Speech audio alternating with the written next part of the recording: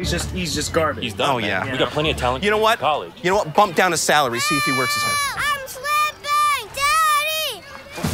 Whoa. Those jeans are built in tough. Twice the strength, basically indestructible. Help! That's your boy, isn't it? Daddy! Yep. Help! Yeah, we can't tell Kathy about this. Yes, you climb high, man. Why didn't my daddy save me?